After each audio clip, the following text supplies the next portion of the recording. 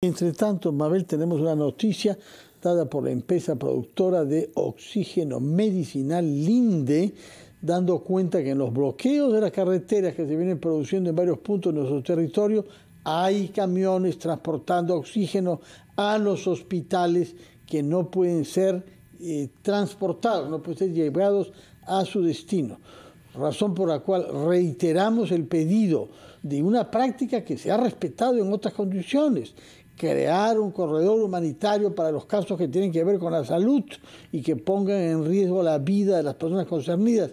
En este caso son camiones que están transportando oxígeno que deben llegar a hospitales, no sea que hayan pacientes que requieran oxígeno para poder respirar y que gracias y por la irresponsabilidad de estas paralizaciones sin reflexión no puedan ser salvados. Repetimos, es urgente un corredor humanitario para casos en donde la salud de las personas esté en juego. así es.